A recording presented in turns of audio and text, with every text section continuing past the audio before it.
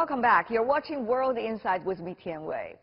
Worldwide, the countless exhibitions and art shows have been cancelled or postponed due to COVID-19.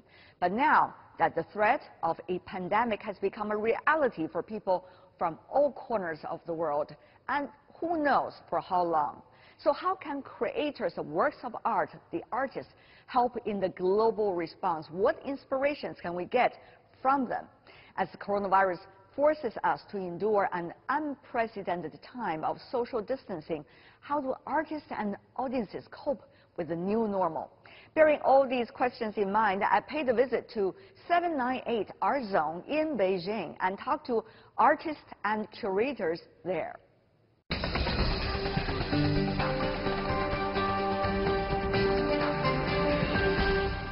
We are all in this unprecedented experience of a global pandemic.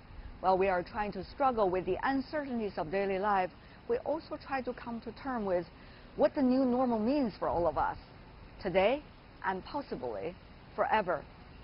That's why we come to art, for rescue, for guidance, and hopefully even some joy. Right here in downtown Beijing, an art exhibition, Meditations in Emergency. Hopefully, there will be some answers inside. All these artworks were created before the big pandemic, but they managed to speak to us in a different way now, thanks to the exhibit curators who presented them in a new light. While doing the rounds, Philip Tinari, the director of the UCCA Center for Contemporary Art, gave me his take on why these works are up for another closer look. No, this artist, Oliver Laric, based in Berlin, um, very associated with this group of artists in the early 2000s, 2010s called post-internet. So they were the, really the first artists to start thinking about, you know, how much of our lives we live online and uh, what that does to our minds. Um, but here he's he's creating all these connections, visual connections between different forms, um, morphing, right? Things turn into one another.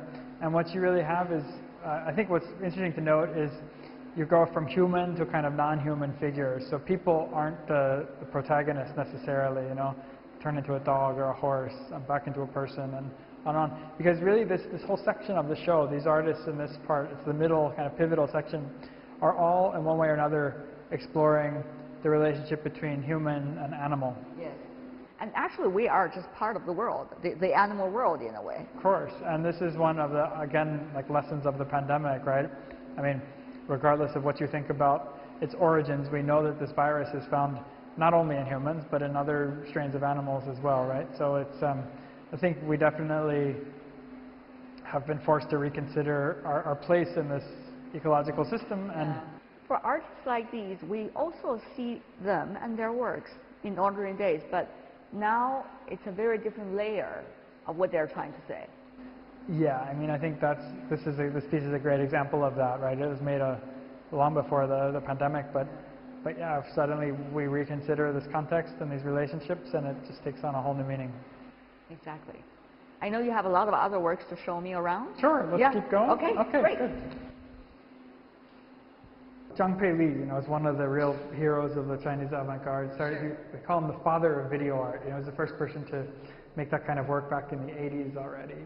Um, but this is a much more recent project, still before the pandemic. Mm -hmm. um, last year, he started going to um, Carrara, you know, mm -hmm. the mm-hmm. quarry in, in, in, Italy where Michelangelo and all the great sculptors of the Renaissance got their marble. Mm -hmm. but actually what he did is he, he took a CT scan of his whole body and then using 3D printing, created molds based on this, and then and then basically so these sculpted. Are all these 3D? are his bones. Oh wow! Yeah, basically, or like life-size images or replicas of, of his own bones. If you put it together, you'd have a whole skeleton of Zhang Peili. Of Zhang Peili. More about him than you ever want to know. Yeah. But um, no, I think I, I love this piece because you know while death and mortality are such common topics in, in art, you know, going back through the ages. Right. Um, but for him to encounter this so directly, I think during this pandemic, you know, all of us thought at one point or another about our own mortality. And these are interesting. Yeah, so, so, so you know, here you have the bones, and then there you have these uh, solids. They represent the, the, the same weight as the amount in his body of uh, fat, of, of blood, and of water. So they're, you know, these materials, crystal versus marble, different weights and densities, so you need a bigger size. But he's, you know, it's, very, it's a very precise exhibition. He's trying to um, represent himself in, a, in an honest and systematic and scientific kind of way. Philip showed me around and introduced me to Zhang Hui, an artist who has a unique eye for people in uniforms. Now his old works about nurses are shown in a different light. That's fascinating, not only to the audience, but even the artist himself. 像有些特殊性的行家，比如医院呐、呃，飞机是一个航空。 Some special environments, like hospitals, airports, these places have professional characteristics, not an ordinary environment. I think it can be analyzed and researched as a subject using the method of drawing. So I created this work. 方式，所以呢，就是画了这个。我看到您这个作品是在一八年， I saw it was painted in 2018. This time, we see the efforts that a lot of medical workers have done in this epidemic. Do viewers have more empathy? 因为大量的就媒体在报道， 呃，在这些医医护士很很很牛、很棒、很奉献，然后产 Because a lot of media are reporting the dedication and sacrifice of medical workers, many people find these works resonating with them emotionally. At this special time, this exhibition uses such a presentation to consolidate the multidimensional and multi-angle thinkings from several artists to reflect on the current special situation. I think it's particularly good. this kind of empathy makes people feel they are indistinguishable from each other when they come here, and the part between the wall of the museum and the outside world is eliminated, making it a huge museum. As an artist, do you think there is a great relationship with the pandemic, your life, your work? Many things uh, I thought it was an analytical reality before, but now it seems that the reality is a personal assumption and a little illusory. This epidemic has brought me back. It turns out that reality still has so many dimensions and so many things that are usually shielded. This outbreak suddenly makes things more real. After experiencing the epidemic, my thinking is more real than before. I will slow down myself and chew on every piece of my work. I will study every piece of work again and again. I don't want to be rushed or reject experience. I want to be as comprehensive as possible.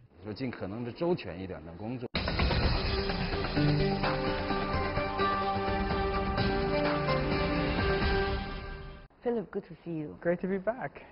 Meditations in an emergency. Frank O'Hara. Wow.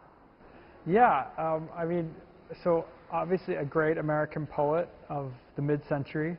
Um, he only lived to be 40 years old. And actually, during his lifetime, he was more famous as an art curator than as a poet. He was a curator at, at MoMA, at the Museum of Modern Art. And, you know, his poetry is so beautiful. I don't know if you've had a chance to read it, but he, he uses ordinary language. So it's almost like pop art, you know, but in, in, in poetry, in literary form. Um, uh, some of his poems, there's one, there's one uh, called Having a Coke with You. Um, but, but of course, Meditations in an Emergency is the name of a poem, but also of uh, a collection of poems that he published in, 19, in the 1960s. Why is that phrase so much what you wanted for this exhibition? Nothing's canceled, but everything's postponed, right? Obviously, it's not a time to make a show with a, with a big budget, with a big team coming from abroad. So we had to suddenly think of a new exhibition to, oh, to reopen with. And you know, what else is on everyone's mind right now but the situation? I mean, it would have felt wrong to do Anything else? anything else, a, a so-called normal show in these very abnormal times. So what was really great about it was it gave the team a chance to really use their, their minds and their eyes and their sort of curatorial muscles. So I, I basically put them in a room and said, you guys have one week, you know, let's come up with a proposal. It gave a, a bit of advice. I'll take credit for the title, uh, nothing else. Uh, the, the selection of the artists, um, the presentation, the design, it was really all done by us. Uh, six-person curatorial team, very outstanding young Chinese curators, but so many other people uh, from the communications to the design to the production that get involved.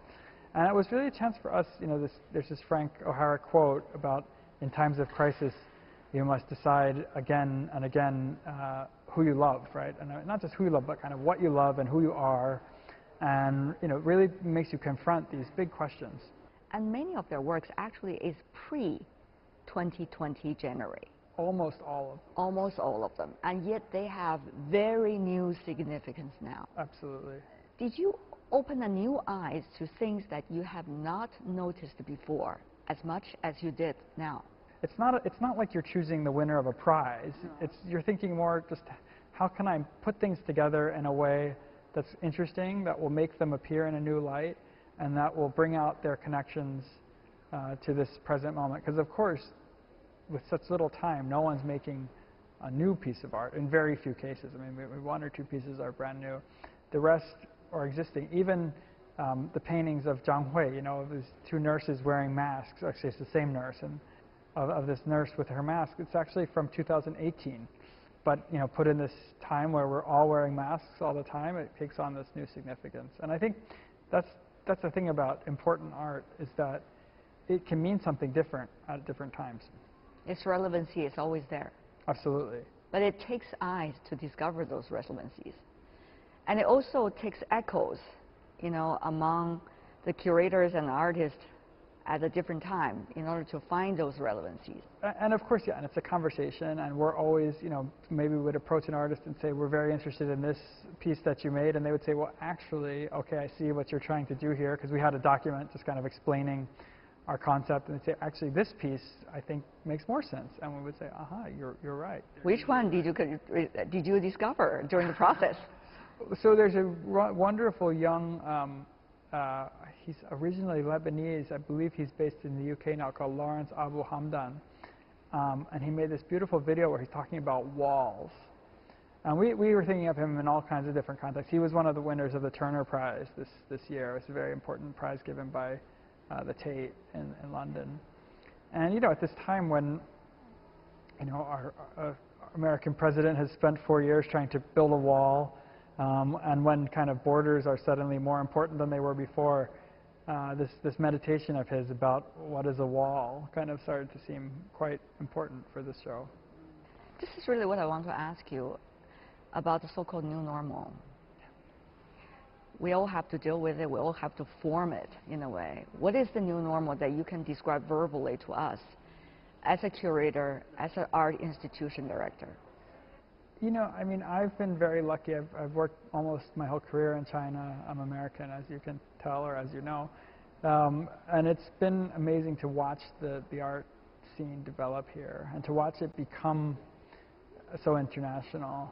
Even in this moment of different kinds of tension, I think it can show what's possible. Um, and it can allow us, allow our viewers and our, our different stakeholders um, it can, can, be a way of reminding ourselves that there, there are these possibilities for a different kind of understanding. This piece of Amico Lee, um, and it's actually really this very serious meditation about um, his time in a hospital. He had a skin problem, and so he was studying in, in, the U.S., and he spent all kinds of time in and out of the hospital. Uh, he made this environment. We'll go look at it. I mean, I'll show you, but it, you look around, and um, what it's become known for online are, you know, there's these kind of very fun red arches and this blue carpet. The colors are dramatic, and there are these elements from like Chinese traditional medicine, uh, you know, mannequins scattered around.